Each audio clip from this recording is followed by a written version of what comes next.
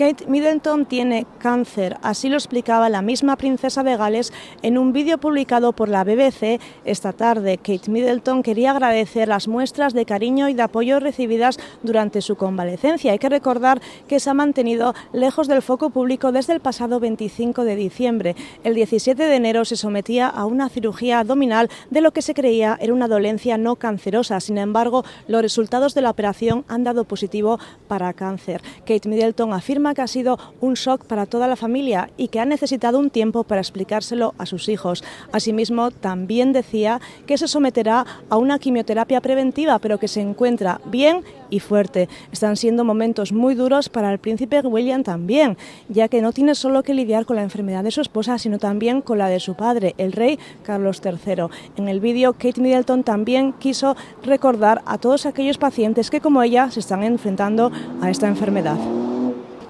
Desde Londres, Covadonga Camblor para Fuerza Informativa Azteca.